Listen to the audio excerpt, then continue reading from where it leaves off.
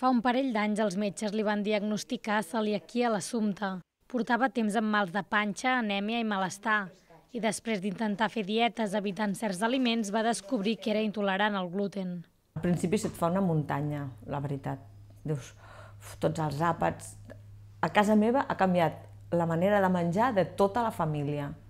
O sigui, tots amb, som una mica, fem dieta una mica celíaca, exceptuant aquells moments de pizza o de macarrons que dius no, ells mengen i jo em faig una altra cosa. Jo m'he hagut de comprar la meva torradora perquè el pa, el pa celíac és un pa que s'ha de coure, és, és un semicuit. Tenir utensilis de cuina exclusius és bàsic per evitar l'anomenada contaminació creuada, és a dir, que un aliment lliure de gluten entri en contacte amb el gluten de forma indirecta. El que sí sembla més fàcil és anar a menjar fora. Cada vegada més locals marquen amb un distintiu els àpats aptes per celíacs. Això sí, les opcions queden molt reduïdes. Per exemple, jo mai puc menjar mm, pasta en un restaurant. És impossible, i n'hi ha de pasta per celíacs però jo no puc menjar mai perquè ells no entenen. A més, hi ha restaurants que et diuen no, no, és que a mi tenir pa del teu mmm, no, no em val la pena.